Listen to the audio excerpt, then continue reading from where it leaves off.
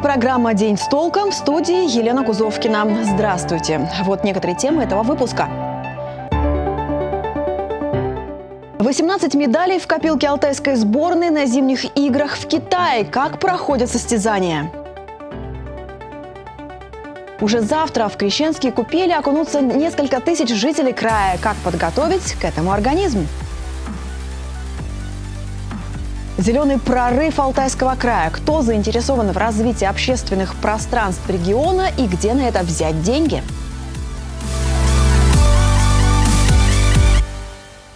Итак, начнем выпуск с приятной новости. 10 медалей выиграли сегодня алтайские спортсмены в Китае. В Поднебесной продолжаются первые зимние игры «Большой Алтай» с участием молодых спортсменов из России, Китая, Монголии и Казахстана.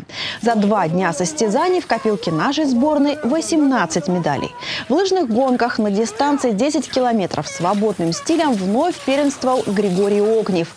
Улучшили свои результаты с бронзы на золото Варвара Сорокина и Александра Ильина.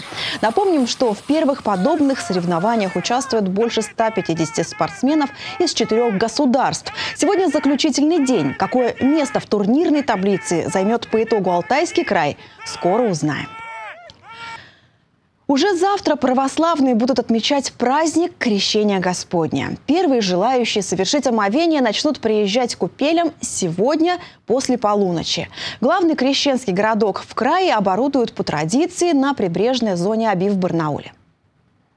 Традиционные купания в проруби 18-19 января пройдут и в Алтайском крае. В нашем регионе организовано более 40 купелей, две из которых в городе Барнауле. Одна прямо сейчас готовится за моей спиной. Толщина прозрачного льда не меньше 40 сантиметров. Основное требование для площадки, где будет купель. На речном вокзале по традиции строят главный крещенский городок края. Сегодня к вечеру строительство со всеми атрибутами этого городка будет завершено. Завтра дополнительно будут установлены раздевалки для тех, кто будет принимать участие э, в этом празднике, для того, чтобы обогреться, переодеться. Воду в Аби уже проверили, она соответствует санитарным нормам, но пить ее нельзя. Одновременно на льду здесь могут находиться не более 50 человек. За их безопасностью будут следить сотрудники полиции и МЧС. Мы спланировали работу э, спасательных подразделений. Здесь э, на реке Ок у нас будут находиться сотрудники ГИМС Главного управления МЧС России 4 человека и сотрудники Краевого спасательного центра, также 4 э, человека. На поселке Борзовая заимка спланирована работа 4 человек в Барнауле завтра будут работать две разрешенных купели на речном вокзале и в Борзовой заимке. Всего же в крае организуют 41 место для омовения. Специалисты советуют выбирать официальные крещенские купели, чтобы не создавать угрозу своему здоровью или даже жизни. Дмитрий Дроздов, Дмитрий Денисов. День с толком. Крещенские купели откроют в пяти городах края. В общей сложности в них окунутся несколько тысяч жителей региона, и большинство к погружению в ледяную воду никак не готовятся. А между тем подготовка нужна, считают медики. Как безопасно окунуться в купель и кому такое закаливание категорически противопоказано, узнаете из сюжета. Опытом погружения в ледяную воду сегодня поделился с журналистами молодой барнаулец. Мужчина рассказывает, купается в Иордане только в крещении, но уже много лет. Приобщил и детей. Но к процедуре ни себя, ни сыновей никогда не готовит. А вот эффект от нее всегда ощущает. Я думаю, если ты решил, надо просто брать и делать. Независимо от того, как себя чувствуешь, настроение, здоровье. Э, она только может быть лучше. То есть это может быть только на улучшение. А вот другая наша героиня – профессиональный морж. Купается в водоемах на свежем воздухе каждые выходные 35 лет подряд. Считает, подготовка к купанию в проруби нужна. В принципе, конечно, нужно, потому что просто чисто вот морально, психологически, потому что очень страшно переступить это. Но, как говорят, на миру и смерть красна. Поэтому те, кто даже первый раз приходит, они видят, что остальные купаются. Если, допустим, в крещении народу много, то они тоже это делают и получают удовольствие. Состояние такого праздника, эйфории, классно, как бы победа над собой. Но чтобы праздник не омрачился, предостерегают медики, нужно подумать не только о психологическом настрое, но и физическом состоянии. Врачи считают, купанию в купели нужно готовиться и минимум за полгода. Гулять и бегать на свежем воздухе и лишь потом начинать обливаться холодной водой, постепенно понижая ее градус. Не помешает сходить и к врачу, сдать кровь, пройти кардиограмму.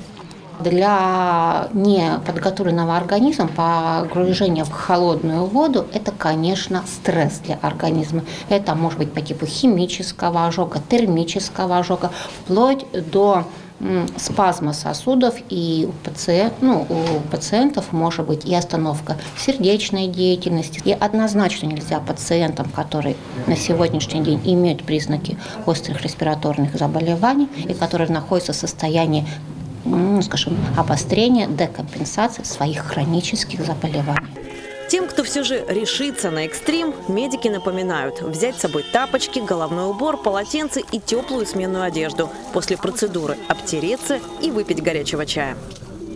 Елена Макаренко, Владислав Ковалев. День с толком. Реконструкцию комплекса Краеведческого музея должны завершить до конца года. Такие сроки обозначил глава региона на совещании в правительстве и во время выезда на стройплощадку. Подчеркнем, что после завершения реконструкции в Краеведческом музее появятся экспозиции, посвященные ключевым военным событиям в России, в том числе СВО. Подробнее далее. В феврале будет 6 лет с момента крупного пожара, который уничтожил крышу и помещение на втором этаже здания, известного людям как Дом афганцев. Долгое время власти не могли найти подрядчика для проведения ремонта. В итоге сметы пересчитали, добавив солидную сумму. И сегодня реконструкция старинного здания идет полным ходом. Темпы работ оценил глава региона Виктор Томенко. Вот эта вся разрушенная кладка была, ее полностью все переложили. Чтобы сохранить исторический облик, своды окон и другие пострадавшие элементы объекта перекладывают исключительно из родного кирпича. Такой вынимают из стен подвала и восстанавливают. Но кроме обновления фасада уже выполнен большой объем работ по усилению здания. У нас на сегодняшний день вот эти работы, ну, на вот, те, которые влияют на непосредственную безопасность, на процентов на 90 выполнены.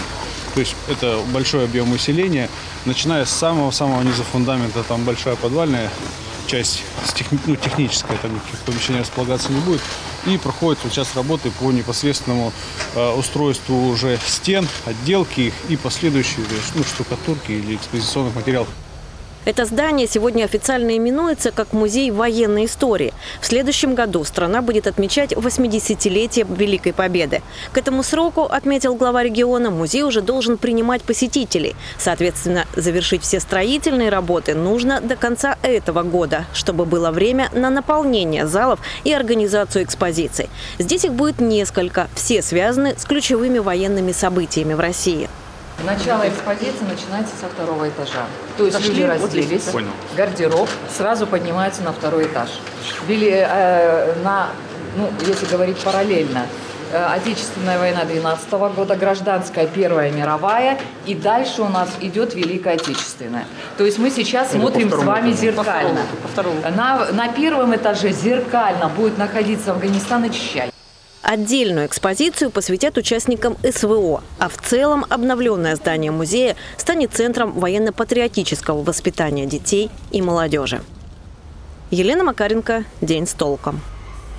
В Барнауле сегодня в честь годовщины прорыва блокады Ленинграда прошла акция памяти «Блокадный хлеб». Также завтра и в субботу барнаульцам будут рассказывать о подвиге жителей Ленинграда, а также о символе стойкости, которым как раз и является блокадный хлеб.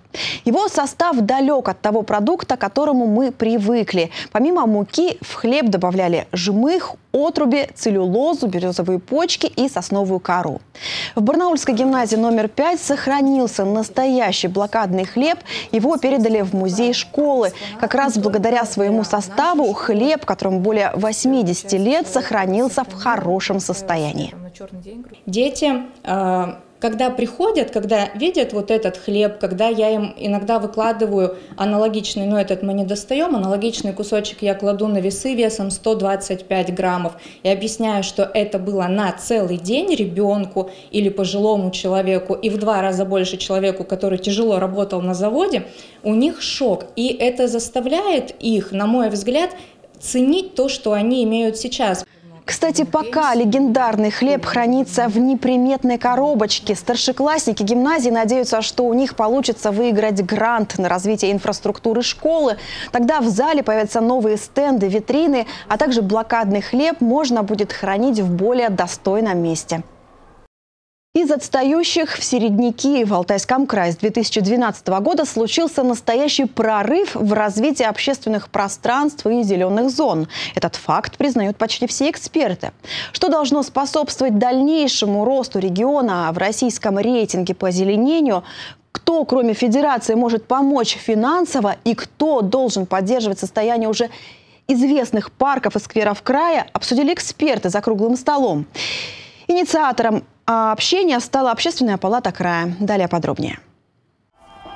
Парк «Изумрудный» – самый яркий пример усилий властей, проектировщиков общественности по созданию места притяжения людей. Его руководитель Владислав Вакаев выделил семь тенденций развития парковых пространств. Им следуют сейчас передовые регионы, в том числе централизация управления парками, создание проектных офисов, эффективное обслуживание парков, привлечение волонтеров и предпринимателей, внедрение аграрных технологий и не только. Все понимают, вложения окупятся. Я лично по изумрудному посчитал и пришел к выводу, что каждый рубль, вложенный в реконструкцию изумрудного, дал не менее 8 рублей эффекта только в виде здоровья людей. А, это одно из самых эффективных вложений бюджетных средств, которые можно только придумать. Мы еще не считаем другие а, эффекты. Правда, в основе своей такие пространства, как изумрудные, появляются благодаря национальной программе формирования комфортной городской среды. Многие уверены, нужна и местная. Краевая программа нужна да. Она назрела. Она вчера еще была нужна.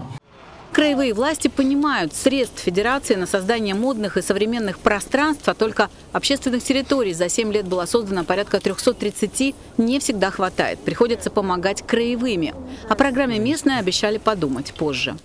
Логика сегодня нашей работы в том, что муниципалитеты, это их э, прямая ответственность и задача должны обеспечивать эту работу. При этом, если необходимы какие-то, так скажем, э, наша совместная работа, мы готовы ее вместе организовать. Э, создавать э, краевое предприятие, которое будет заниматься муниципальными объектами, ну пока вот такую задачу и смысла не видим. Законодательная власть тоже готова рассмотреть, как может помочь развитию общественных пространств, к примеру, проект поддержки местных инициатив или как использовать государственно-частное партнерство.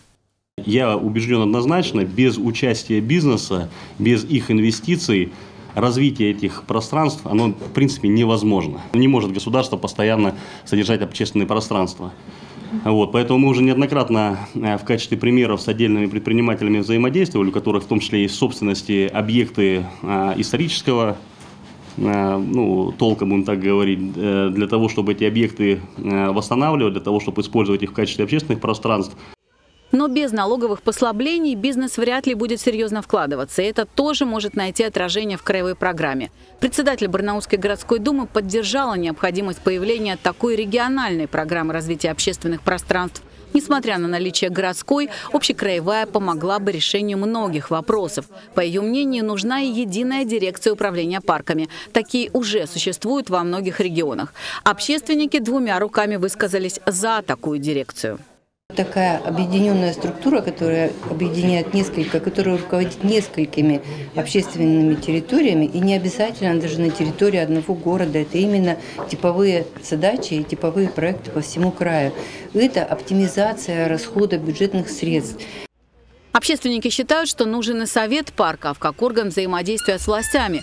Архитекторы, между тем, настаивают. Барнаул все еще не дотягивает до нормативов по наличию зеленых зон. По мнению Андрея Таджанова, нужна прописанная стратегия, как правильно эти зоны наращивать. Нужно стремиться к этому и стратегически понимать, что ну, как бы вот осознание количество метров квадратных сегодня и количество метров в идеале, да, оно само по себе ничего не дает, если нет понимания, как, этому, как к этому двигаться, да, то есть какие шаги-то надо принимать. Итогом круглого стола стала резолюция, которую Общественная палата направит в правительство края, КЗС и администрацию Барнаула. А летом в Белокурихе обсуждение важной темы развития общественных территорий продолжится. Татьяна Голубева, Владислав Ковалев. День с толком. 2024 объявлен годом семьи. На укрепление этого социального института направлено все внимание и господдержка должна затронуть практически все категории населения.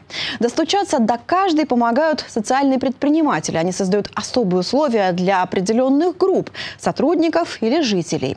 Слово Дарьи Ерошиной.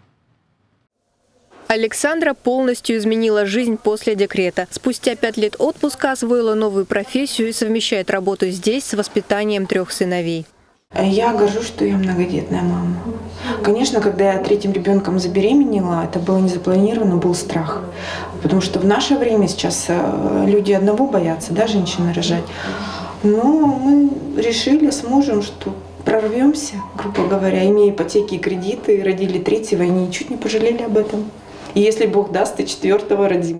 И она не единственная многодетная сотрудница, поэтому и условия работы особые. Такую концепцию выбрала руководитель, когда сама стала мамой троих. Возможно, из-за этого я и открыла, потому что открыла его, будучи беременной, и понимала, что мне сложно будет найти работу. Большинство свою работу, бумажную работу я делаю дома чтобы а, и присматривать за детьми, несмотря на то, что у детей няни. Но все равно как бы мама должна присутствовать. На Алтае растет число социальных предпринимателей, сообщают в Краевом профильном управлении. В прошлом году их стало 139. 29 из них выдали грант до полумиллиона рублей на развитие дела. В одном из таких учреждений занимаются диагностикой и коррекцией психики. На средства гранта купили новое оборудование. Психическое здоровье детей, к сожалению, большому ухудшается за последнее время. Появляется все больше и больше количество детей с ОВЗ. А, это ограниченные возможности здоровья, различные нарушения развития у детей. Значительно увеличилось обращение с тревожностью, депрессивными состояниями и паническими атаками у взрослых. А в этом фитнес-клубе на средства гранта приобрели специальные, облегченные и удобные анатомические тренажеры. Заниматься на них могут люди с ограниченными возможностями здоровья и любого возраста. Поняла, что это будет ответом для многих женщин, которые не могут пойти в любой обыкновенный тренажерный зал, где есть железо, да, грубо говоря. Это и здоровье, это и внешность, где молодые девочки, и женщина бы чувствовала себя некомфортно. И именно на нашей территории а, женщины, которые приходят, они видят, что здесь тренируются такие же, как они. Мы вот здесь познакомились с тремя девчонками, мы вообще дружим, капитально дружим. Про семьи, про все знаем, ну, общаемся все вообще хорошо. У нас домашние группы проходят, мы все встречаемся еще на дому, общаемся, здесь каждый день видимся. Ну, то есть, как бы, ну, годы-то идут, общение-то нужно, не с телевизором же нам общаться. В рамках национального проекта «Мой бизнес» специализированные организации консультируют и физических лиц, желающих заняться социальным предпринимательством. Для такого дела услуги предоставляют бесплатно. Услуги здесь разного направления, то есть это информационно-консультационные услуги, информационно-методические, образовательные услуги. Вот в течение года у нас было проведено 21 обучающее мероприятие. В целом посетили эти мероприятия, это 652 участника. Чаще всего такому бизнесу требуется помощь в рекламе и разработке сайтов и поддержки, но все усилия покрывают благодарности за такую социальную работу. Дарья Ирушина, Владислав Ковалев. День с толком. Костюмы по мотивам творчества Николая Рериха, сценические наряды из пробок и пластика, дизайнерская одежда школы моды Светланы на протяжении трех десятилетий поражает воображение россиян. В этом году образовательное учреждение, которое ежегодно выпускает из-под своего крыла юных дизайнеров и хореографов, празднует свой юбилей – 35-летие. Подробнее о талантливых воспитанницах расскажет Валентина Аскерова. Прямо сейчас я реставрирую костюм 97 -го года, полностью сделанный из пробок э, из-под бутылок. Вот, я, получается, отрываю старые нитки и пришиваю на иголки на новые, на ткань. Реставрируют знаменитую коллекцию, отмеченную самим маэстро моды Вячеславом Зайцевым. Ремонтируют костюмы, отшивают себе новые. Покупка готовых сценических нарядов в школе моды Светлана под запретом. Костюмы создают исключительно воспитанницы. Тут я занимаюсь ну, конструированием, шью, придумываю, творю. И также общаюсь с девчоночками, делюсь опытом, набираю опыт и очень весело провожу время свое. Хочешь выступить в таком костюме? Да. Нам пообещали, что на наш выпуск нашей группы, получается, 27 года, мы будем выступать в этой коллекции. Школа моды Светлана открылась в 1989 году. Ежегодно в ней обучается больше 80 человек от 6 до 19 лет. Благодаря господдержке дети получают разнообразные навыки. Например, у нас коллекции есть, ну, к примеру, посвященные творчеству Рериха. Соответственно, на изобразительном искусстве они проходят вообще тему э, творчества Рериха, потом они создают каждый там свою модель, потом объединяют в коллекцию, а потом уже мы на конструировании, моделировании, изготовлении изделий думаем, как же воплотить это в жизнь. То есть они проходят такой комплекс, но уже на хореографии с нашей любимой Надеждой Николаевной Вартанян они э, создают постановку, ставят, э, подбирают музыку и коллекция начинает жить.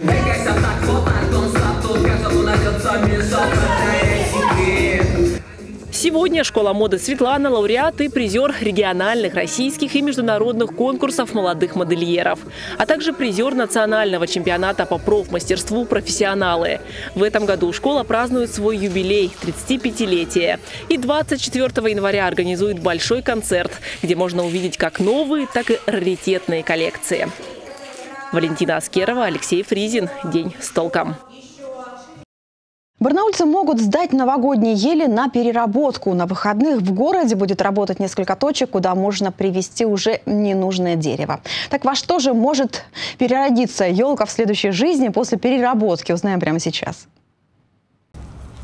Елкам и палкам не место на свалке. Под таким девизом в Барнауле уже несколько лет собирают новогодние ели. Волонтеры уверены, зеленая красавица еще может послужить после длинных праздников. Сразу в нескольких точках города организаторы акции будут принимать ели, пихты, сосны и другие хвойные деревья.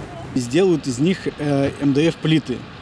То есть в промышленном масштабе перерабатывают полностью. МДФ-плиты используются, большинство это в кухнях. Это фасады, то есть из МДФ их оттягивают потом, к примеру, пленкой, и в дальнейшем это уже фасадная часть кухонь, к примеру. Или какие-то другие необходимые части именно в мебели. Перед сдачей елка должна быть девственно чистой. С нее необходимо убрать все украшения, их остатки, например, дождик. Ведь все это затрудняет переработку. А если ваша ель заметно полысела, переживать не стоит. На переработку идут стволы и ветки. Несколько лет назад нам удалось собрать э, более 4000 елок. Это благодаря вовремя было сделано анонсирование. В том году, к примеру, мы собрали всего лишь 500. Ну, опять же, всего лишь они бы могли уехать не по назначению, а так их переработают. Пункты сбора хвойных деревьев будут работать в субботу 20 января с 11 до 12.30 по адресам. Площадь Октября, Зеленый сквер, ТРЦ «Гулливер», Площадь Народная, ТРЦ «Огни», а также площадь Кузнецова. Все подробности можно узнать у организаторов. Телефон вы видите на своих экранах. Ирина Корчагина, Алексей Фризин. День с толком. На этом у меня все. Очередной выпуск нашей программы смотрите завтра в это же время на телеканале «Толк». Ну а я напомню, что для вас работает телефон нашей редакции 205 545. Через несколько секунд о погоде. Спонсор прогноза – компания «Ивалар». До встречи в эфире.